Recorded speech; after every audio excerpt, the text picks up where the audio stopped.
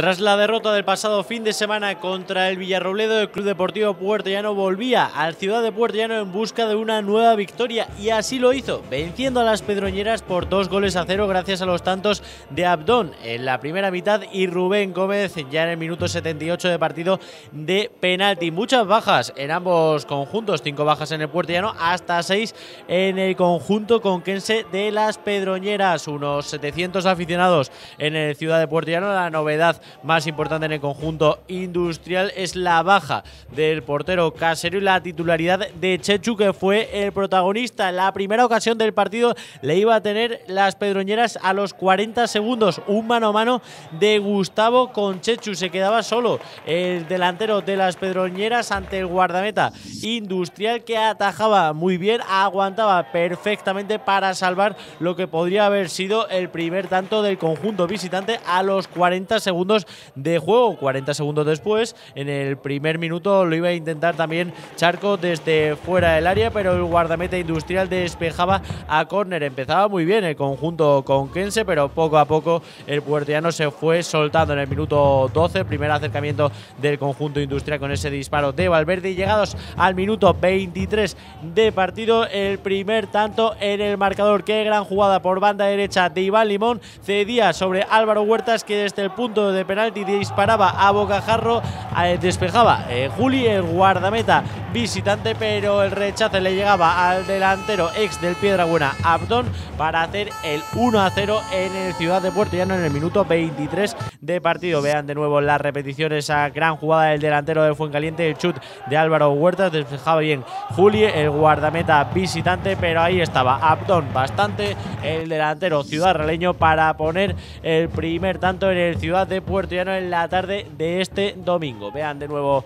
por último, la repetición, ese buen disparo de Álvaro Huertas, pero buen rechace también de el guardameta Juli.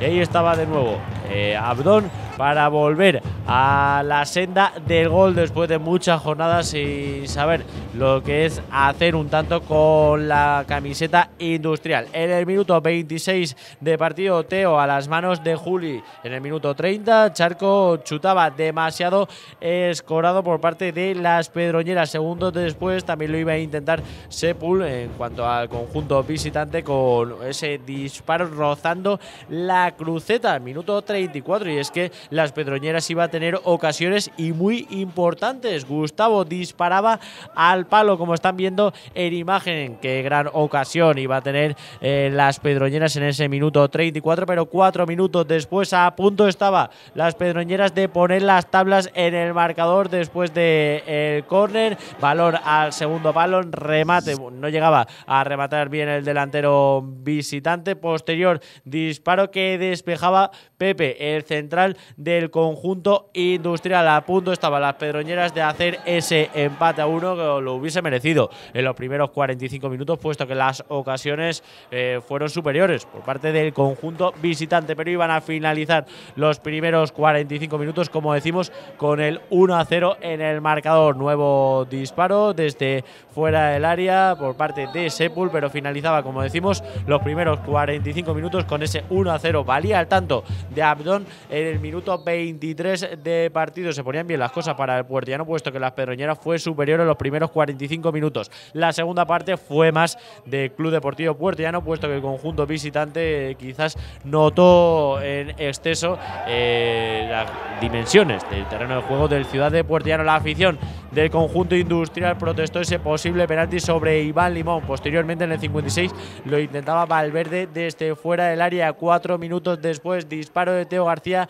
que se marchaba rozando la cruceta. Qué buen disparo del medio centro del Puerto Llano, pero finalmente eh, ese chut se marchaba a saque de puerta. Se retiraba Pichi y Sepul por parte de las Pedroñeras, entraba Israel y Juanpi por parte del Puerto Llano. Se retiraba el goleador Abdón, también Álvaro Huertas lesionados y entraba Cristian Beltrán y Mañas. Y llegados al minuto 78 de partido, penalti sobre Iván Limón. Dani derribaba dentro del área visitante al delantero de Fuencaliente y el árbitro del partido, el señor Muñoz Méndez, no se lo pensaba y lo expulsaba con roja directa. Atención, qué grandísima contra de Club Deportivo Puertillano, como están viendo en imágenes, ese saque prácticamente desde la defensa de Pepe sobre Iván Limón, pared con Rubén Gómez, Iván Limón se adentraba en el área, tocaba lo justo, Dani el central de las Pedroñeras para derribar al delantero industrial, pitar penalti el colegiado y con un jugador menos